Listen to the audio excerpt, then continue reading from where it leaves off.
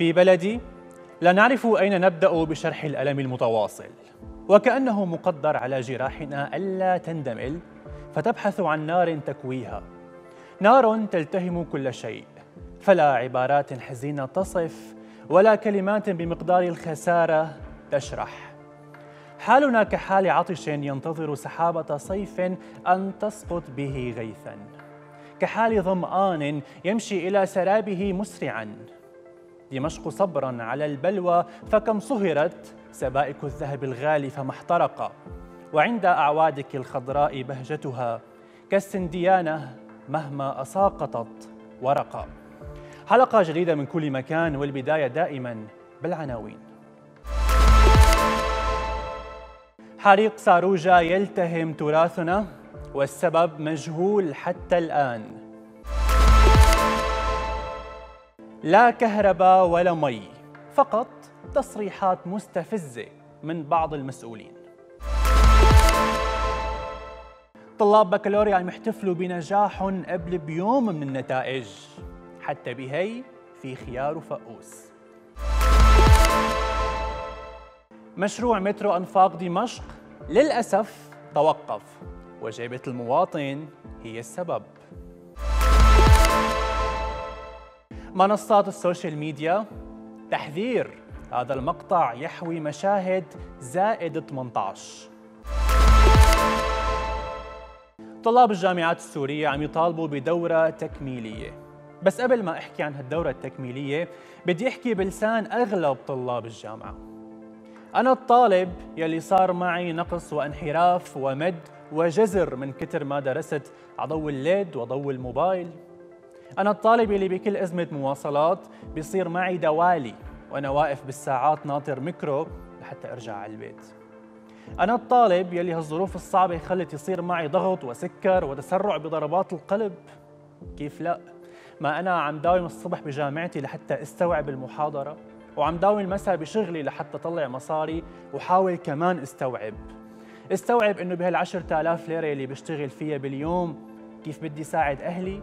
وكيف بدي أصرف على حالي وكيف بدي أشتري محاضراتي اللي كل يوم وكل شهر وكل سنة بغلوها أنا الطالب يلي ما ضل قرار رفع ما طلعتوه وكل قرار بتطلعوه بيصيبني. أنتم بترفعوا من هون وأنا بستغني عن شيء من هون. سنة 2023 هي السنة صعبة علينا كلنا وكانت أصعب على طلاب الجامعات. يلي بنص امتحانات الفصل الأول ضربنا الزلزال. وأنتم شفتوا شو صار وقت الزلزال؟ يعني أنا ما في داعي هلأ أحكي. في كتير طلاب للأسف ما قدرت تكمل امتحاناتها. إذا بموجب كل شيء حكيته هلأ أنا هل يستحق هذا الطالب الجبار دورة تكميلية لهالسنة ولا لا؟ الجواب برسم وزارة التعليم العالي ونتمنى أن يكون الجواب يستحقون. بدي حذركم حزورة في شيء بنسمع عنه بس لا بنشوفه وبندفع فواتيره. شو هو يا حذركم؟ رح أعطيكم لآخر هالخبر لحتى تفكروا بالجواب. أما هلأ بدنا نبعث رسالة. رسالة من كافة أطياف المجتمع السوري إلى وزارة الكهرباء. وزارة الكهرباء مرحبا. تحية طيبة أما بعد. الشوب يلي برا مو محمول لا لبشر ولا لحجر. عم تشوفوا الحرائق يلي عم تصير؟ طيب رح أربع عليكم أكثر عم تشوفوا كيف محطتين توليد كهرباء عندكم عطلوا من وراء هالشوب وصار في قطع بكل البلد وصاروا خارج الخدمة؟ طيب أنتم مو خايفين علينا نحن كمان نصير خارج الخدمة. قطع الكهرباء لمدة ست أو سبع ساعات أو 11 ساعة مقابل ساعة وصل بهالشوب هو جريمة بحق الإنسانية. جريمة بحق المرضى وكبار السن والأطفال. جريمة بحق صغار الكسبة وأصحاب المحلات. جريمة بحق كل أم كبت المونة يلي بالبراد. جريمة بحق الطلاب يلي عندهم امتحانات. جريمة بحق كل موظف بيشتغل طول اليوم ليرجع على بيته ما يلاقي لا مكيف ولا مروحة بتشتغل. جريمة بحق النفس البشرية يلي بتشتهي كاسة مي باردة بهالشوب وما بتلاقي. أول مرة عم نشوف كيف إنه الناس صارت عم تشتري نص بطيخة لأنه ما في أساسا كهرباء ولا في براد. وإذا ظل الوضع هيك بنأكد لكم إحنا كمان حنصير بنص مخ. نتمنى تحسوا وتحسنوا من وضع الكهرباء ويكون في استجابة لكل الناس يلي عم تنادي. أما هلأ خلونا نرجع للحزورة. عرفتوها شو هي ولا لسه؟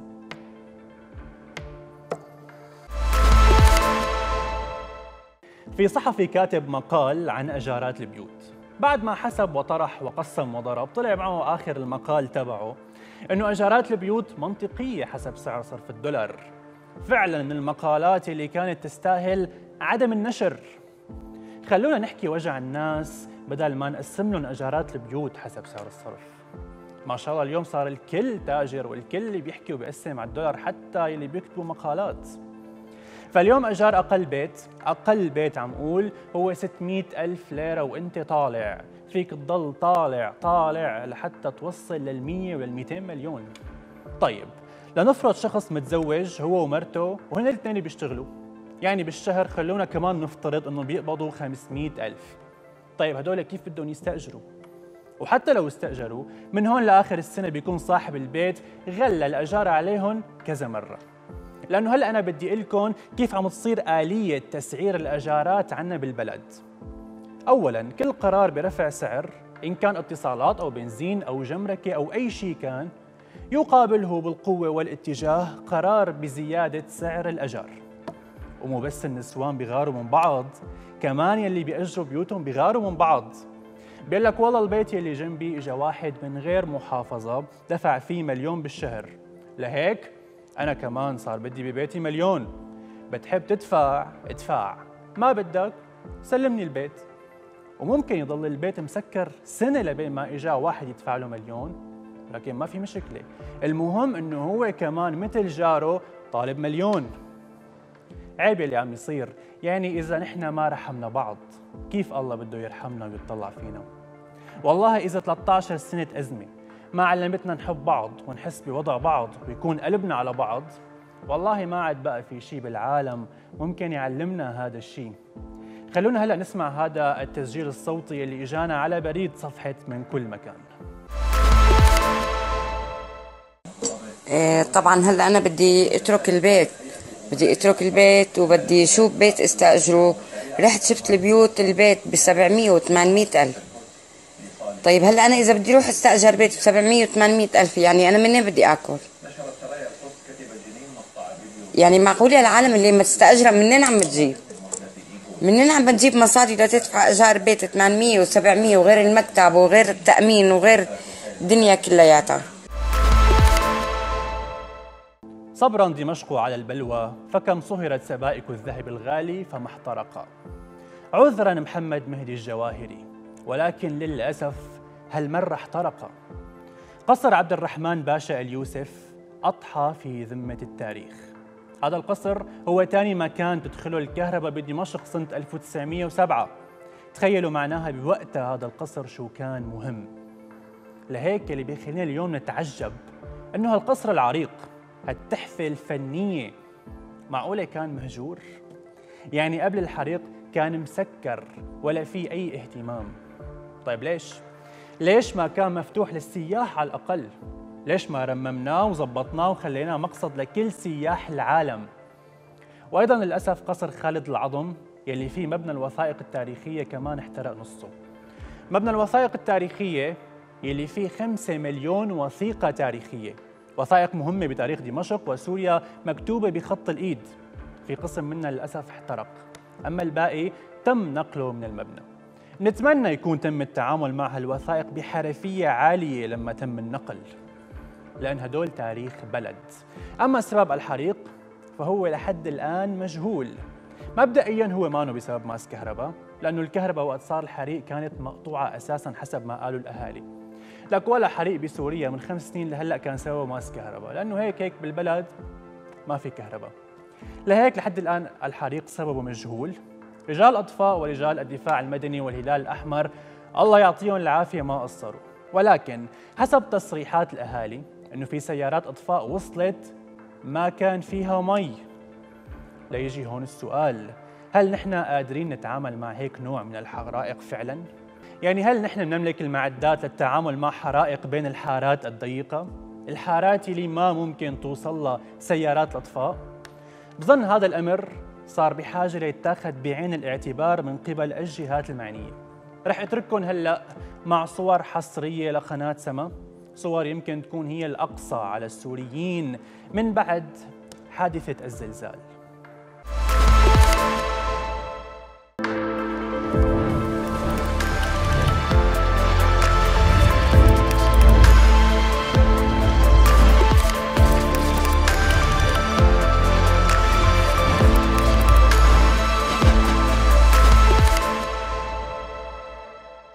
يعطيك العافية. الله يعافيك. أول شيء الحمد لله على السلامة. الله يسلمك يا رب. تحكي لي شو صار يوم الحريقة لو سمحت. والله كنت نايم أنا بيتي ورا بيت الوراني دقت لي زوجتي البيت اللي احترق هون عم لي تعال خذ ابنك البيت احترق. جيت أخذت ابني ورحت وديته اجيت لهون لقيت النار شاعله شاعله رديت رحت بلشت تشعل على الجنب الثاني أنا رحت على الجنب الثاني وبلشت ساعد الأطفاء بالحريق. وبلشت تكبر على بين ما اجت في سؤال اليوم كل الناس عم تسأله إنه لما اشتغلت الحريقة الكهرباء كان جاي ولا مطفية؟ لا مطفية ما في كهرباء هذا السبب منه ماس كهرباء لا ما في كهرباء بعدين أي ساعة طفت النار كلها؟ إذا بعد الستة سبعة الصبح لحتى طفيت ثلاث أطفاء فورا تواجدوا بالمكان؟ تواجدوا بس آه، يعني أكثر السيارات آه، مي ما فيها يعني, يعني سيارة إطفاء مي ما فيها؟ هنيك أخذت آه، ساعات ما في غير اجى رجل إطفاء واحد هو بالسياره تبعه. ما معه حدا. جيت أنا وياه مدينا بربيش وكل شيء هو يدخل لي مي وأنا طفي عرفت شلون؟ 10 دقائق فضيت السيارة. يعطيك العافية. الله يعافي قلبك. تعرفين حالك لو سمحت. أنا الاستاذه عائشة الناصر رئيسة القسم الخاص بمركز الوثائق التاريخية. بس طبعا الريسيفر الهاردات الكمبيوترات في قسم كبير إنه راح مع الحريق. راح مع الحريق. الدنيا برا حريق حرفيا حريق. وصلت درجات الحرارة ل 50 درجة. الكهرباء ما عم تجي آمنا وسلمنا. ولكن كمان ما في مي. يعني شو عم يصير معكم؟ ليش هيك عم تعملوا فينا؟ يعني أنا واحد موظف راجع على بيتي بنشوى برا من الشمس والحرارة وبنشوى جوا بيتي من أنه لا في كهرباء ولا في مي. الكهرباء بتقولوا إنه ما في فيول ما في توريدات خرجت محطات عن الخدمة. طيب المي ليش مقطوعة؟ ليكون كمان نحن عم نولد المي من الينابيع مثل الكهرباء وصار بدهم فيول مشان هيك عدوا على إيديكم. المعظمية مضايا حي الورود ضاحية قدسية جادات قدسية أشرفية الصحنايا الكشكول جرمانا كلياتهم من 15 يوم لليوم هن بلا نقطة مي. والقائمة تطول. يعني أنا هلأ حكيت عن بعض حارات دمشق وريفة لسه ما طلعنا برا على غير محافظات. يعني لسه ما طلعنا مثلا على حلب يلي فقدوا الأمل وصاروا عم يشتروا المي مشترى. وقال عم قول من شوي أنا كمان إنه ما في بيت فيه كاسة مي باردة من وراء الكهرباء. طلع ما في مي بالأساس قبل ما نتشهون إذا بدنا إياها باردة ولا لأ. والأحلى من هذا كلياته لما يطلع مسؤول ويحط لك أعذار. قال والله المي انقطعت لأنه صار في قطع عام بالكهرباء. طيب نحن شو خصنا بهالحكي؟ يعني أنا شو بتهمني هالمعلومة ما فهمت. يعني مثلا هي المعلومة أنا بحط لها صابون وبتحمم فيها؟ ولا ممكن إذا قريت أحس إني ارتويت وما عاد بقى عطشان؟ نحن ما عاد بقى بدنا حجج ولا تفسيرات. نحن مطالبنا كتير بسيطة. المي اللي قطعتوها فقط رجعوها. أما ايمت وكيف وليش هي تداولوها أنتم باجتماعاتكم ابحثوا فيها وحاولوا تشتغلوا على انه ما تنعاد. خبر مؤسف وحزين. ما بعرف كيف بدي احكي الخبر وبلش فيه ولكن خلص قدر الله وما شاء فعل. مشروع مترو الأنفاق بدمشق توقف حاليا. وليش؟ قال بسبب القيمة الكبيرة للتشغيل والتمويل وبسبب أجرة نقل الراكب يلي قدروها بأنه حتكون 15 ألف ليرة سورية. قالوا على قولهم هو رقم مرعب جدا على المواطن. طيب خلونا نبلش وحدة وحدة. نحن ساحة السبع بحرات بلشنا فيها قبل الزلزال. خلص الزلزال وارتفعت الاتصالات والبنزين والجمركة والإسمنت والحديد. وفل الشتي وطل الربيع وفل وما خلصتوا انتو. بس لا هلا قالوا إن شاء الله هانت وترقبوا بين ليلة والثانيه افتتاح هالساحة إن شاء الله.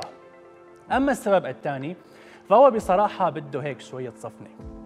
إنه عن جد عم تحكوا عملتوا دراسة مشان يصير عنا مترو ومن أحد أسباب فشل هالمشروع إنه راح يكلف 15 ألف ليرة على الراكب. يا لطيف. والله معكم حق يعني هو سبب مهم. ما أنتم دائما قلبكم علينا وعلى جيبتنا ما في شيء جديد. هذا مبلغ ال 15 ألف ليرة اللي أنتم عم تحكوا عنه اللي أنتم وصفتوه بالمرعب. هذا عم ندفعوا أجار تاكسي بين حارة والثانيه هذا عم نشتري فيه سندويشة شاورما وحدة. هذا حق ست طابات بوظة. حق قطعة كيك صغيرة. ما بعرف والله إذا لسه اليوم بيجيبوا نص كيلو لبنة. هي ماني متأكد منها. بقى هلا صار اجره نقل الراكب بالمترو 15000 رقم مرعب. طيب لا تخافوا ما مرعب.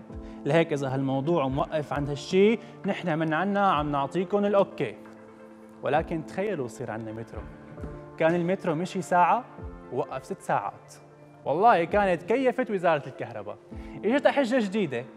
والله قطع عام عن كل دمشق بسبب عمليات شحن المترو بالكهرباء. وقت أي مسؤول أو فريق اقتصادي بيأخذ قرار بزيادة سعر مادة بيكون على فكرة ضميره تجاه المواطن مرتاح من باب شو يا حزركون؟ من باب إنه المواطن أكيد شو ما صار عليه وشو ما تبدلت عليه الأحوال رح يعرف كيف يدبر حاله.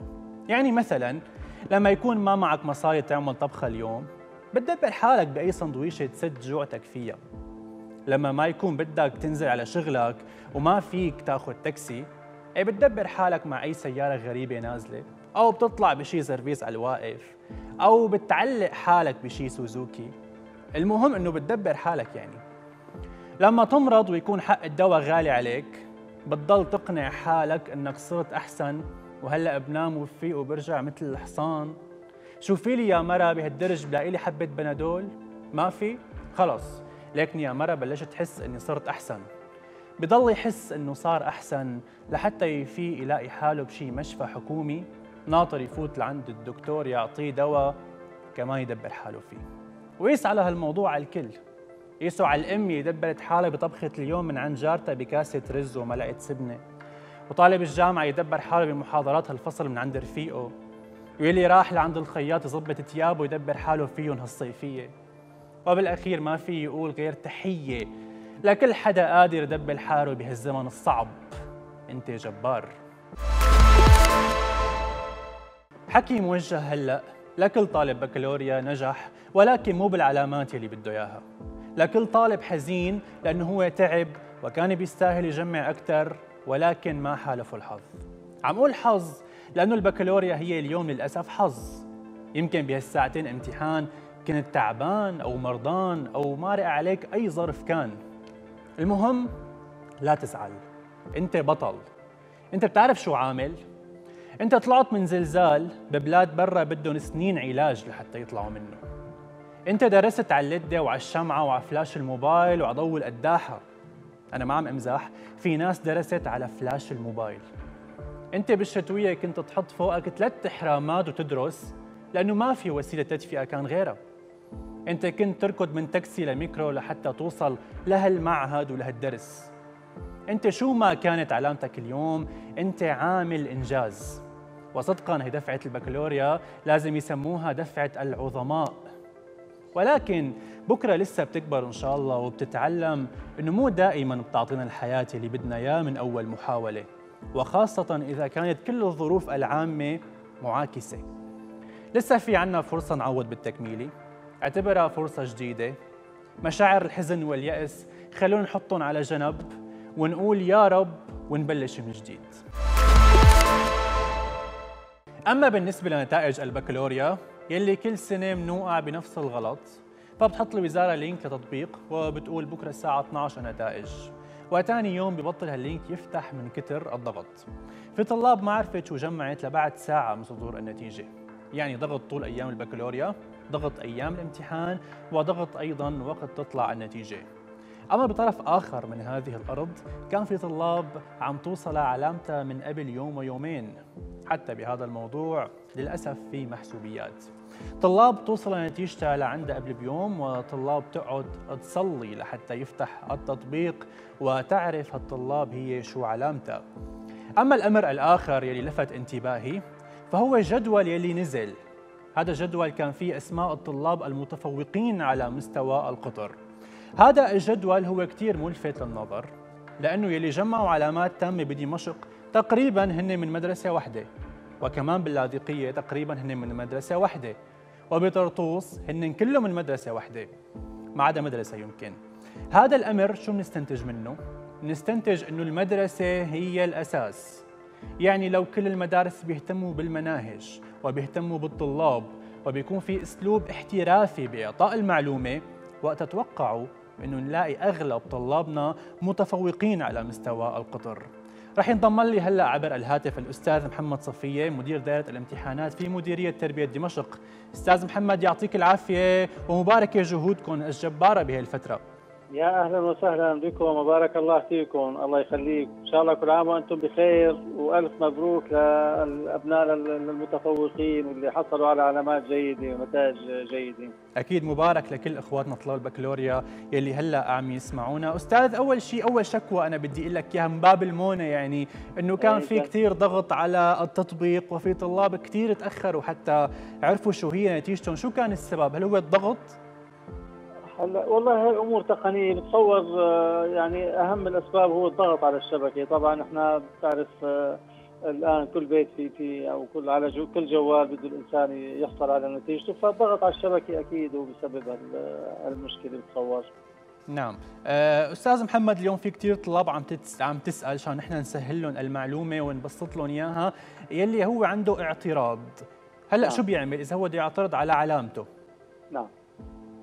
هلا أي طالب شعر بالظلم بنتيجة آه، الامتحان بمادة نعم. أو أكثر من حق الطالب إنه يتقدم باعتراض على مادتين على الأكثر آه، يتم تقديم طلبات الاعتراض اعتبارا من تاريخ اليوم بدأنا اليوم باستقبال طلبات الاعتراض ولغايه آه، يوم السبت الاعتراض لمدة خمس أيام اعتبارا من اليوم بيوم السبت. نعم. آه المسألة بسيطة جدا. طلب اعتراض موجود يوزع مجانا من آه عندنا من دائرة الامتحانات آه يلصق عليه الطوابع القانونية ورسم الاعتراض إيصال مالي بألف ليرة. ووزارة المالية مشكورة فرزت أمناء صناديق لدائرة الامتحانات متواجدين عندنا من أجل سهولة التعامل مع المساله يعني ما يتكلف الطالب يروح على الماليه يدفع فامناء الصناديق موجودين في دائرة الامتحانات آه، بيعبي الطلب يختار المادتين ويتم قبول الطلب بكل سهولة ويسر. نعم أستاذ محمد تم يعني يتم التحضير حاليا من أجل الدورة التكميلية؟ آه، طبعا تسجيل الدورة التكميلية بدأ اليوم أيضا في بالنسبة للطلاب النظاميين في مدارسهم. آه، وأحب أن أنوه بأن المدارس ودائرة الامتحانات فاتحين أبوابنا خلال آه، العطلة الرسمية فالتسجيل جاري بالمدارس للطلاب النظاميين لمدة خمسة أيام أيضا اعتبارا من تاريخ اليوم. نعم. يعني المدارس تستقبل الطلاب للتسجيل لغاية يوم السبت. أيضا بدون أي تعقيد القوائم متوافرة وموجودة في المدرسة ويستطيع الطالب فقط أن يختار المواد التي يريد أن يتقدم بها يسدد الرسوم لأمين السر أو مدير المدرسة و يعني نعم. اختيار المواد بشكل بسيط. هو بيختار. نعم أستاذ محمد اليوم هلأ طلاب البكالوريا مثل ما بيقول خلصنا من همهم ومن نقهم وصلنا اليوم لطلاب التاسع اللي بلشوا هلأ عم يطالبوا طيب ونحن أيمت؟ فأنا شو بنقول لهم طلاب التاسع؟ أيمت إن شاء الله متوقع إن شاء الله النتيجة. كما كما صارت عمليه التصحيح بالنسبة للثانوية العامة. أيضا جاري وفق الخطة المرسومة أيضا لطلاب شهادة التعليم الأساسي والأعدادية الشرعية. ونأمل أن تخرج بوقت قريب أن تصدر نتائج تاسعه إن شاء الله ما بتكون يعني يعني لا نستطيع أن نحدد من الآن لأنه آه لا يزال يعني نحن لا نزال في طور التصحيح وبعض المواد في مراكز التصحيح يتم يعني أستاذ آه أستاذ محمد حسب توقعك هي قبل 23 شهر ولا بعد 23 شهر؟ آه حقيقة يعني موضوع التوقع ما بنقدر لأنه آه المسألة مرتبطة ليس بدمشق وإنما بكل محافظات القطر لا تصدر نتائج التاسع حتى تنتهي جميع المحافظات من أعمال التصحيح والتدقيق والتنتيج. نعم بدي أشكرك أستاذ محمد كنت معنا عبر الهاتف. يعطيكم ألف عافية أنت وجميع القائمين في وزارة التربية. كل الشكر لكم على إتاحة هذه الفرصة ونتمنى أيضا أن نفرح بصدور نتائج التاسع وتكون جيدة. أكيد. شكرا, شكرا. أستاذ محمد. إذا مثل ما سمعنا من الأستاذ محمد صفية آه، كل طالب بكالوريا آه، حاس إنه هو ما بيجمع هيك إنه هو ممكن يجمع أكثر بحق له يقدم اعتراض. الأبواب الاعتراض هي انفتحت من اليوم وراح تضل مستمرة لحد يوم السبت. فيك تعترض على مادتين على الأكثر لمادتين على الأكثر. آه وكمان التسجيل الدورة التكميلية مثل ما فهمنا من الأستاذ محمد كمان بدأ اليوم ومستمر أيضا لمدة خمسة أيام.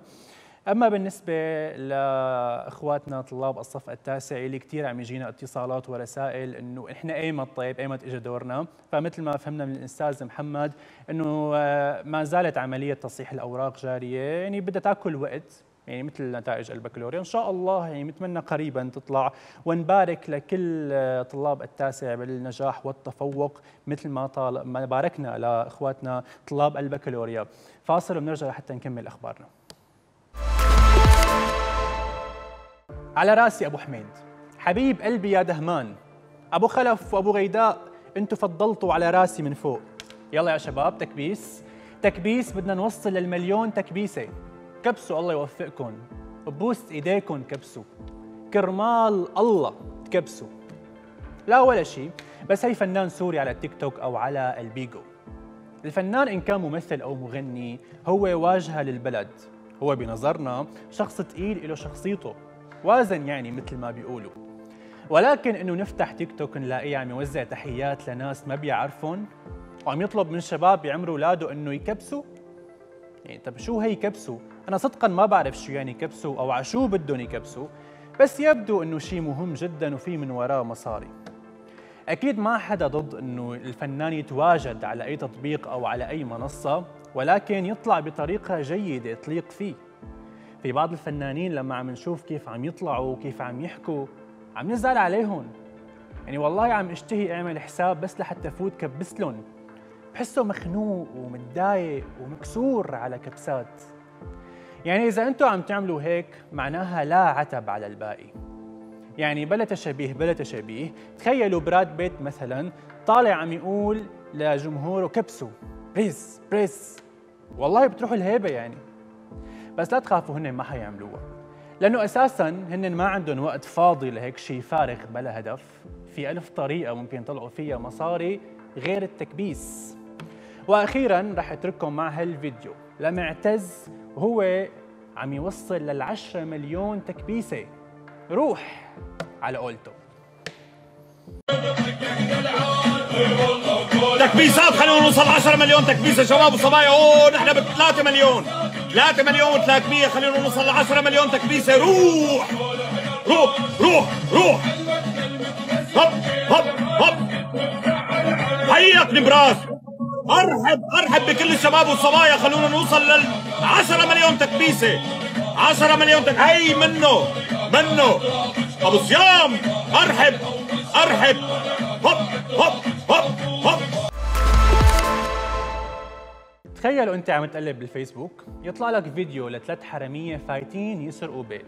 بيوم بيلاقوا بغرفة النوم في بنت على التخت. هالبنت أنا لما شفتها والله أنا شاب طول بعرض خجلت. ما عاد عرفت أنا عم تابع فيديو على الفيسبوك ولا هذا فيلم زائد 18 ليطلع هذا المقطع لمنصة سورية. خلص ما عاد في أخلاق. ما عاد في حدود لقلة الحياء. هذا الفيديو طلع لي إلي وبنفس الوقت يمكن يطلع لأختي أو لأختك يمكن يطلع لبنتي أو لبنتك. يا عيب الشوم ولسه قال نتعجب لما نشوف هالشباب والبنات الطالعين كيف بيعرفوا شغلات أكبر من عمرهم. لا حدا يقول إنه اليوم أي حدا فيه يفتح ويشوف هيك شغلات. اللي بده يفتح ويشوف هيك شيء بده يكون مستقصد. مو بيكون عم يقلب بصفحته وفجأة بيطلعوا بوشه معقول أنا اليوم لحتى طلع مصاري بكفي إني أعمل منصة ونزل عليها مقاطع فيديو فيها إيحاءات؟ وما في حدا يقول لي ممنوع ما في حدا أبدا يردعني. طيب أنا كيف بدي أحمي حالي وأحمي عيلتي من أمثالكم لك الله يلعن الساعة يلي عملوا فيها المشاهدات على ال social media بتطلع مصاري. بس هن وقت عملوا هالخطوة ما توقعوا إنه في ناس ممكن تبيع أي شيء بينباع أو ما بينباع. لحتى تطلع مصاري من وراء المشاهدات واللايكات. هلا نحن عم نحكي ونهاجم المنصات لكن نحن كمان أحيانا ما متحمل مسؤولية الشيء اللي عم ينعرض؟ أكيد متحمل لما يعملوا فيك مقلب ويضربوك ويوقعوك ويرشوك مي ويرموك بوسخ وآخر شيء يقولوا لك والله مقلب. تسمح لنا نعرضها تقوم أنت بتضحك والله وبتقول لهم إيه؟ عشو إيه يعني؟ أنت ما متمرمط بالفيديو. كثير مبسوط إنه رح يعرضوا. كثير مبسوط إنه رح يشوفوك الناس بهالمنظر. أنت عم تطلع فيه من واحد أو من وحدة قد أولادك. اذا نحن نتحمل كمان مسؤولية التفاهة يلي عم تنعرض. لأنه نحن لو بنحط لهم حد ما رح يتمادوا ابدا. بس طول بس طول ما أنت عم يقولوا لك والله هذا مقلب قول باي للكاميرا تقوم أنت تصير تشولح لنا بإيدك وتقول باي. فهن رح يضلوا مستمرين وبقوة. لأنه كبش الفدا موجود. المفعول به موجود. معقول لك منصة عم تقول إنه يلي بيدخل على هالمطعم وهو عم يرقص رح ياخذ وجبة أكل ببلاش؟ بيقوم فعلا. في كم حدا فات وهو عم يرقص خلونا نشوف. في بطني نحبني يا سيدي. وإنت تفرفش على إيدي. ما يفرحش الليلة معانا لا ما نحبوش تقولي لي باي بس؟ تخيل بيوم من الأيام تتخانق مع مرتك. تقوم تتفاجأ إنه مرتك عم تشكيك. ويا حرام شو رح تكون طيوب. إذا فكرت إنه رح تشكيك لأهلك أو لأهلها أو تشكيك لرفقات مشتركين بيناتكم هي كانت أيام زمان. اليوم الموضة إنه تشكيك لمنصة. شو يعني هالحكي؟ خلونا نشوف. كيفك مع الحب؟ منا صاحبي ليه؟ يعني أنا مزوجة. إذا بنت ماشية بشكل عفوي بوقفها مذيع بيسألها أنت كيفك مع الحب؟ بتقول له والله أنا ماني صاحبة مع الحب مع إني متزوجة. أوف. يا لطيف هالصراحة. يعني هي نحن بالعادة بنقول إنه تمام الحمد لله ماشي الحال. بعد كتير إصرار بنقول والله نحن مو صاحبة مع الحب مع إني متزوجة. صار عندي فضول لحتى أعرف ليش ما أنا صاحبة معه خلينا نكمل. بيبقى الحب بعد الزواج؟ ليك آه، بحكيها وبكل صراحة قدام الكاميرا الحب مقبرة الزواج.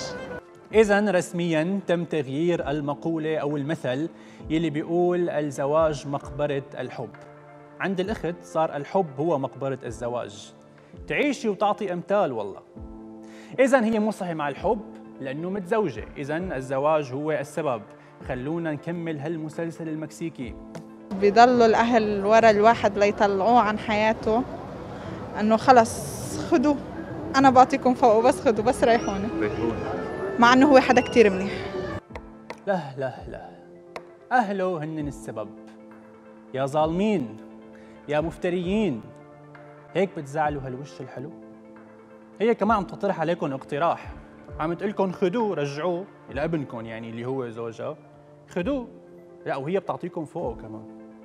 ولكن هي كمان يعني ما نست الجانب الجيد منه. قالت إنه هو منيح. أكيد هالبنت برجع الجوزاء. إلى ساعة عم تحكي عليه هي سكرتني باللي بضل ساعة عم يحكي على شخص. آخر شيء بيقول بس ما بننسى كمان إنه هو حباب وقلبه طيب. رجعوني للمقطع صار عندي فضول أعرف شو عم يصير حبيه ما فيني أقول لا ولا فيني أقول إيه. بعتذر ما فيني صرح عن هالموضوع. يعني أساسا لو أنتم بهمكم كثير كنتوا عرفتوا لحالكم. لو معناتها وصلنا إنه هي متخانقة مع زوجها بسبب أهله. هي لا بتحبه ولا بتكرهه. هي بس بتفضحه. أنا زوجي بيسافر بالبحر قبطان. فيمكن مسألة البعد أو نحن ما عايشين مع بعض كل الفترة أو الإنترنت بعيد. آخر ما توصلنا له زوجها قبطان. وهي كمان متضايقة لأنه هو بعيد والإنترنت بعيد. أنا ما بعرف شو دخل الإنترنت يعني. هلا الله يعين كل شاب يشتغل قبطان. نقطعت رزقتك من بعد هالحكي. ما ولا بنت هلا رح تتزوجك. اذا اللي توصلنا له لهلا. هي متضايقة من أهله ومتضايقة إنه هو بعيد والإنترنت بعيد. يلا نكمل. احكي لي عن أشياء اشتقتي لها معه أنا؟ اشتقت لحالي. مؤثر. مؤثر جدا. أنا كثير تأثرت. اشتقت لحالها إيه إن شاء الله بترجعي هيك لحالك بخير وبسلامة. خلينا نكمل.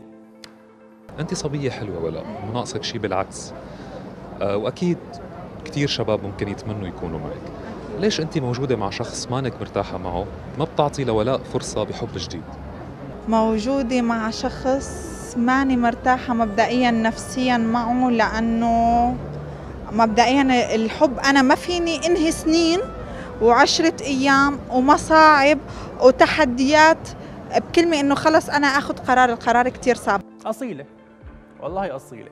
ما فيها تنهي العشرة ما فيها تنهي التحديات ولكن بنفس الوقت فيها تطلع وتفضح مشاكلهم قدام الكاميرا. أصيلة. كتير بالايام وقت الإنسان بيتقدم له كتير إغراءات بالأخص البنت ومثل ما قلت إذا بنت عليها ضوء أنا لا أعتبر ما أعتبر إني من الجميلات بس ماني من البشعين. وقت البنت يكون عليها شوية ضوء وعين بمجتمع شرقي بحت آه، بيجيها كتير مغريات. لو أنا بدي خون في كتير أبواب مفتوحة لي للخيانة بس الخيانة بشعه والله أنا أول مرة بسمع إنه البنت المتزوجة بيجيها كتير مغريات. شي مرة يعني سمعتوا إنه بنت متزوجة عم يجيها كتير مغريات. المهم هي بنت عليها ضوء. في كتير أبواب انفتحت لها الخيانة ولكن هي ما خانت سكرت هالأبواب وقفلتها وفية أنا هلأ رح أكتفي لهون من هي القصة يلي لا أنا ولا أنت ولا أي حدا كان لازم يسمعها. قلتوا لي كانوا يقولوا البيوت أسرار. إيه، أهلين بيوت وأهلين أسرار. أسرار هلأ كبرت وصارت منصة وعم تفضح هالبيوت. ما بعرف يا نحن غلط يا يلي ربونا عليه أهلنا هو غلط يا أما يلي عم نشوفه هو الغلط. والشيء اللي بيزعج إنه في ناس بتقلك إنه هي متصالحة مع حالها وإنه هي جريئة. طيب أنت يلي عم تقول هيك ترضى أختك أو مرتك تتصالح مع حالها بهي الطريقة أو بتقبلي زوجك يطلع يفضح مشاكلكم قدام الناس؟ الجواب من هلأ عم لكم إياه؟ أكيد لا. هي الأحاديث والمشاكل موجودة وممكن هي البنت تفش خلقها لاهلها لرفقاتها لك حتى ممكن تشاركهم بجروب بنات باسم وهمي.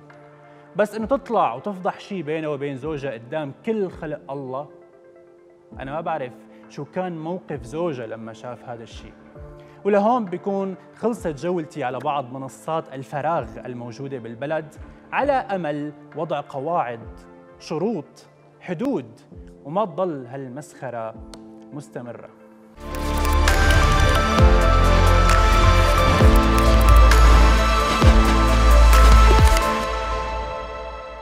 وهلا رح يكون معنا الشاب اللي كان من أسبوع لهلأ هو حديث ال social media. خلينا نتعرف عليه وعلى اسمه. مرحبا. مين؟ الحمد لله. شو اسمك أنت؟ اسمي ياسي ياسر راجع ولا ياسر شو؟ لا ياسي وين ساكن أنت حبيبي؟ أنا فوق بالجبل. هلا أنت الكل العالم عم تسأل. أنت ضحكت وقتها على سؤال الكهرباء ولا ضحكت لأنه حدا ضحكك؟ لا سؤال كهرباء طبعا. يعني على الكهرباء ضحكت إيه. آه، قد إيه عم تجي عندكم الكهرباء قد إيه عم تقطع محل ما أنت ساكن. ساعة بعشرة إيه أنت عم تشوف العالم كلها عم تشتكي من الكهرباء؟ كل العالم تشتكي من كهرباء. ما في كهرباء. ما في كهرباء لأنه. شو عمرك أنت؟ أنا عمري 13 وشو بتشتغل؟ بشتغل بالعطورات محل عطورات. مم. كل يوم تشتغل بالمحل؟ لكم. صيف وشتاء؟ إيه. كم ساعة؟ من الساعة 10 الصبح ل 9 بالليل. طيب هلا أنت آه، ياسر إذا وزارة الكهرباء عم تسمعك مم. شو بتقول لها؟ أنا بس جيبوا لنا الكهرباء ما بدنا أكثر من هيك يعني.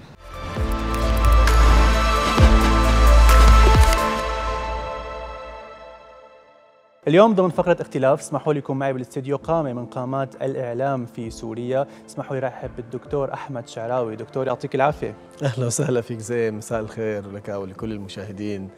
أنا سعيد بوجودي معكم اليوم وسعيد بهذا ال- الاستضافة. وشكرا لكم. نحن سعيدين أكثر دكتور. آه، أولا آه، اليوم كيف إذا بدنا نسأل كلية الإعلام اليوم كيف كيف وضع الإعلام بالبلد؟ كيف وضع الكلية؟ نحن ككلية إعلام انشئنا من 2010 عندنا أربعة أقسام في الكلية. طبعا هذا الكلام معروف للقاصي والداني. بشكل عام نحن يعني نقوم بتكوين الفكر الإعلامي لدى الطلاب. إعدادهم بشكل ليكون منتج محتوى منتج مضمون صانع محتوى آه، في وسائل الإعلام. فهذه هي مهمتنا الأساسية. آه، طبعا صناعة المحتوى هي الأساس أنك تعمل الفكر وتعمل العقل وتعمل الثقافة وتعمل الوعي. آه، على مدى أربع سنوات وتمكنه من مهارات إنتاج المضمون أو نعم. إنتاج المحتوى هذا هو الأساس يلي بالنسبة لنا البعض بيقول أنه نحن ما عندنا شيء عملي أنا بقول لا لأنه نحن بإنتاج المحتوى وإنتاج المضمون عم نقوم بالعمل على على على أشده كلية الإعلام مع احترامي للجميع ما بتصنع مونتير ما بتصنع مصور صح. ما بتصنع مخرج ما بتصنع presenter أو مقدم لأنه كل واحد من هدول له تأهيله الفني الخاص. خاص فيه. حتى المذيع أو المذيعة فله تأهيل خاص وخاص جدا ويحتاج إلى ساعات كثير تحت الهواء وساعات تدريب ومهارات خاصة جدا. يعني البعض بيعتقد إنه أنت مجرد ما توفر عندك آه، كاميرا وإضاءة وأستوديو إنه هذا هو العملي بالإعلام. لا ليس هذا هو العملي بالإعلام. نعم. العملي بالإعلام هو إنتاج المحتوى وصناعة المحتوى وأن تكون آه، صاحب قلم وأن تكون صاحب فكر. هذا هو الإعلامي آه، أما القضايا الفنية الأخرى فلها أكاديمياتها الخاصة ولها الجوانب المهنية الخاصة فيه. نعم دكتور اليوم كثير عم نشوف حالات ممكن يكونوا ناس بالوسط الإعلامي إن كان مقدمين خلينا ناخذ مثال ولكن مو دارسين إعلام، مم. انت مع هي الفكرة طبعا. دكتور؟ طبعا. توم هوبكنز كان أحد قادة توجه التدريب الإعلامي بالعالم أو صناعة الإعلاميين بالعالم، فكان يقول إنه نحن ممكن نجيب أي خريج آه وبدنا مثلا برنامج طبي. فبنجيب طبيب وبنعلمه سنتين إعلام بعد تخرجه من كلية الطب, الطب. آه بدنا نحكي شيء عن القانون. فبنجيب محامي وبنعلمه سنتين إعلام بعد آه آه تخرجه من كلية الحقوق. يعني بهالإطار نحن بيكون التوجه. وأنا صاحب توجه وصاحب فكر نحن ما بنتخبى ورا اصبعتنا لذلك أنت لازم تكون صاحب فكر وصاحب رسالة. أكيد. ليس كل خريجي الإعلام يصلحون للعمل بالإعلام حقيقة. ويقال إنه 5% إذا بيكونوا إعلاميين فبيكون جيد جدا. بيكون ممتاز الوضع. إيه طبعا. نحن نحن كليه مثل اي كليه بالعالم. نحن ما بنعمل 100% خريجين إعلام هن كلهم جاهزين. أكيد في قدرات شخصية للفرد في شخص بيجي على الكلية فقط بده يدرس مثل كأنه عم يدرس أي اختصاص آخر. بيقدم مادة بينجح بيدرس بيتخرج بس ما بيكون ما عنده يعني ما عنده بذرة الإعلامي. وفي بالمقابل كثير طلاب مبدعين جدا ورائعين جدا مشان ما نبخس طلابنا حقهم اللي أنا بحبهم كثير وبتعامل معهم بمعاملة كثير أخوية وكثير بمحبة عالية لأنه صناعة الإعلامي ليست بالأمر السهل. أمر صعب وصعب جدا ونحن بنشتغل على الجانب النفسي أكثر أحيانا من الجانب العلمي. إنك تعمل نفسية إعلامي شخص واثق بنفسه قادر على إنه يتمكن آه، آه، قادر على يعني آه، مواجهة ضغوطات العمل. حضرتك أستاذ زين بتعرف قديش العمل بالإعلام في ضغوطات وفي صعوبات؟ البعض بيعتقد إنه صرت مذيع هيك بسهوله بس أنا وقفت ورا الكاميرا وصرت مذيع. ابدا في 3000 ساعة تحت الهواء وفي شغل وفي عمل وفي كذا وفي تحضير وفي إعداد وفي حتى نعمل قمة جبل هالجليد هي ففي يكون في كثير شغل في كثير أسس قبل هيك. فنحن عم نكون فخورين كثير بطلابنا. في مجموعة طلاب كثير كويسين وكثير عندهم إمكانيات هائلة بس أحيانا بيجينا حدا ما بيكون خريج إعلام وأنا ما بخ ما يعني ما بخجل أحكي بهي الفكرة لأنه نحن الإعلام آه مثل ما قلت لك أصحاب رسالة. فما عندنا تابوهات مغلقة بالعكس هي من القضايا السهلة. صح. بيكون ما خريج إعلام وبيبدع بالعمل الإعلامي وهذا بيصير بالعالم كله. مش في منطقتنا أو بسوريا مثلا. أكيد أكيد. فبيكون بتلاقيه مبدع بتلاقيه عنده إمكانيات هائلة عنده قدرات ممتازة جدا. يعني أحد الأشخاص اللي بحبه كان دكتور بالفيزياء. وكان بريزنتر رائع ومقدم جيد جدا ويقدم برامج كانت تشغل الرأي العام. ما تمخص هذا الموضوع في سوريا وهو الدكتور محمد عبد الحميد وكان في قناة كان بيقام بقناة سما أكيد. هو دكتور تحية للدكتور محمد أكيد. آه، دكتور أحمد كنا أنت هلك من شوي كنت عم تحكي عن صناعة المحتوى. آه، موضوعنا الرئيسي لحلقة اليوم هو ما يقال إنهم منصات على ال social media. عم نشوف أشكال غريبة عم نشوف يمين ويسار عم نشوف فيديوهات يعني آباء عم تخجل إنه تشوفها فما بالك أطفال؟ شو رأيك دكتور أنت بهذا الشيء اللي عم يصير اليوم على ال social media؟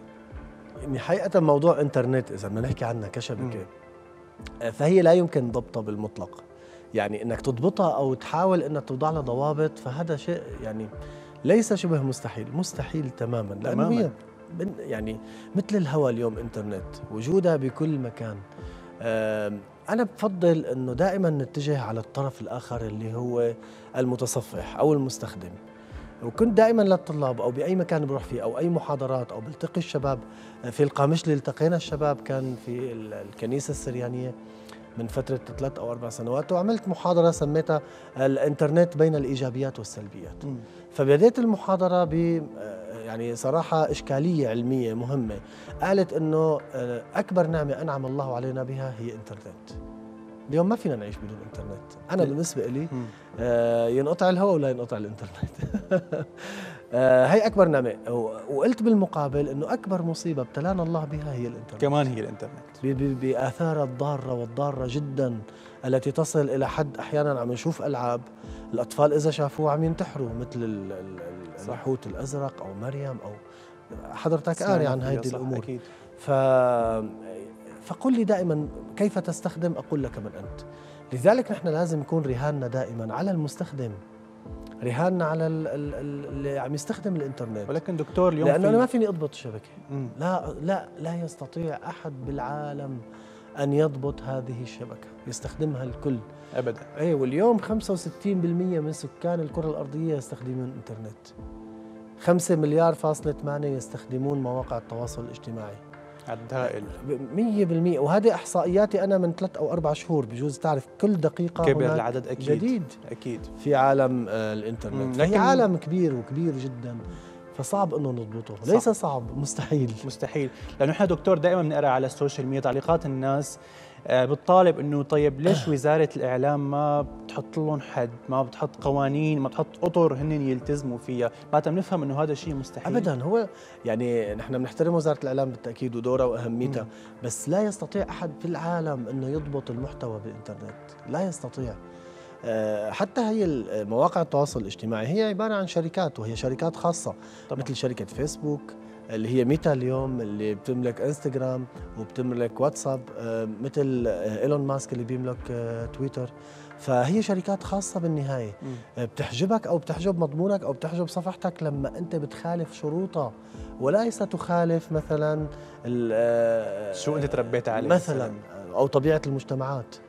يعني الشيء المتاح في خارج سوريا آه، آه، لا ينطبق عليه الأخلاقيات أو طبيعة المجتمع داخل سوريا. فهن بيحظروك إذا ذكرت كلمة مثلا مقاومة أو بيحظروك سياسيا. أما النواحي الأخرى لا لا لا. مفتوحة ومتاحة. بالعكس أنا أعتقد أحيانا أنه هذه الشركات لها أهداف. طبعا هي تقدم خدمة تقريبا مجانية. حضرتك أستاذ بتقدر تعمل 10 صفحات فيسبوك و20 صفحة و200 صفحة و3000 صفحة. صح. آه، بتقدر تعمل 100 قناة على اليوتيوب. آه ليش مفتوحة بشكل مجاني بهذا الشكل؟ إذا سألنا أنفسنا فبنعرف إنه ليوصلوا لأدمغتنا هذا الهدف البعيد. إنه اليوم العالم كله under control تحت السيطرة من خلال مواقع التواصل الاجتماعي. وبديت إنترنت آه بديت صحافة صحافة إلكترونية, صحافة إلكترونية. كنا نشوف الصحف المطبوعة أو عم تعمل لها مواقع على الإنترنت وتقدم النسخة الورقية. صح. بعد ذلك أصبحنا نرى المواقع الإلكترونية التي ليس لها نسخة ورقية وليس لها لا ليست إذاعة ولا تلفزيون ولا وكالة أنباء. الآن أنا رأيي الشخصي. ومن خلال يعني نحن بالبحث العلمي في شيء اسمه الملاحظة بالمشاركة. فأنا من خلال ملاحظاتي وحتى من خلال الابحاث اللي عم شوفها اليوم مواقع التواصل الاجتماعي. قليل كثير اليوم اللي عم يدخل على مواقع إلكترونية. لا كله صرنا تقريبا 90% على تواصل يعني أنا احتاج إلى إحصائية لكون دقيق نحن بالعلم. بدنا يكون عندنا إحصائيات فأنا ما عندي إحصائية. فأنا ملاحظ إنه حتى دخولنا اليوم أو حتى لما بسأل الطلاب أنتم إيمتى آخر مرة؟ طلاب إعلام ومهتمين ومتابعين. ما بنقول إنه ما متابعين لا متابعين.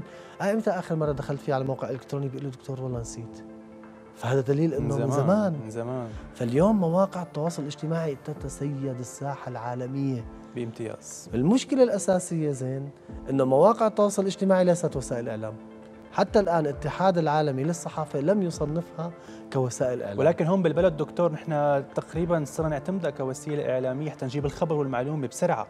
تصور يعني اليوم المواقع التواصل الاجتماعي عم نحكي بالعالم السوشيال ميديا عالميا تسيطر على وقت الجمهور وليست هي لا تعتبر وسيلة إعلام. لا تعتبر وسيلة. يعني على فيسبوك هي صفحتي الشخصية. على تويتر هو حسابك. على يوتيوب هي قناتك. ولا تعتبر وسيلة, وسيلة إعلام إعلامية. نعم دكتور لما بتكون أنت عم تقلب على صفحتك الشخصية أكيد بيطلع لك بعض الفيديوهات للمنصات السورية. لما أنت بتشوفهم شو بيكون رأيك؟ شو بتقول بينك وبين حالك؟ شو بتعطيه نحن لسه ما زلنا نحتاج إلى الكثير.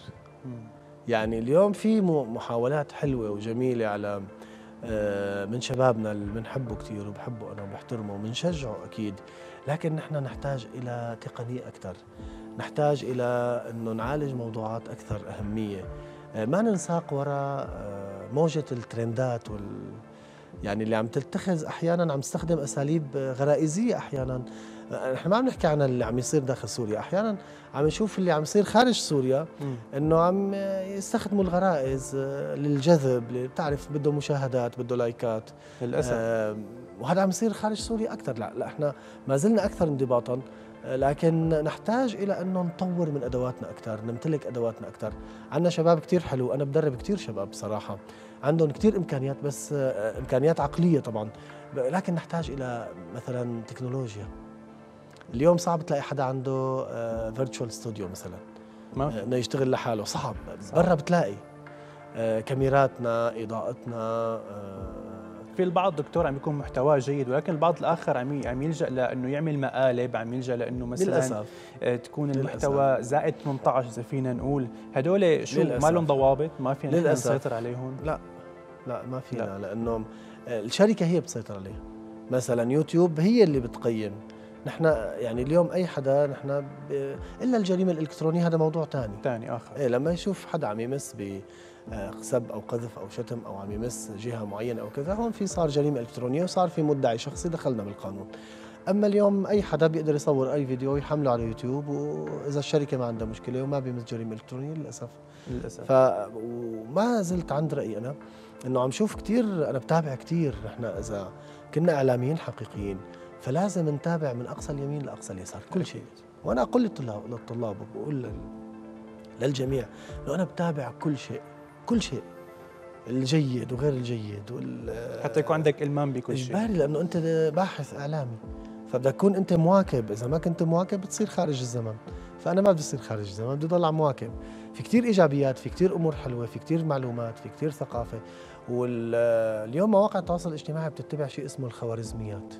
صح. آه، ما ما ما تهتم به فبيعملوا لك جذب له بتجذبه فأنت بتهتم بالعلم تهتم بالكذا فبتلاقي إنه فعلا ضمن صح مثلا أنا بحط لايكات ضمن لصفحات التفضيلات. تعليم الإنجليش. عم يطلع لي ورا بعض. جذب. صح. فأنا الشخص ممكن أعرف آه، تفكيره أو كذا من خلال صفحته. بدي أتشكرك دكتور لوجودك معنا اليوم. ما بتت... هيك نحن سرينا فيك وبحديثك والمعلومات اللي قدمت لنا إياها. أنا كثير سعيد معكم. وإن شاء الله دائما من نجاح لنجاح ومن تطور لتطور. وقناه سما دائما إن شاء الله تكون يعني مستمرة في التطور. شكرا يا دكتور شرفتنا. وهيك أنا بكون بأخباري وفقراتي وضيوفي المميزين خلصت حلقتي اليوم. بشوفكم إن شاء الله بحلقة جديدة الأسبوع القادم من كل مكان.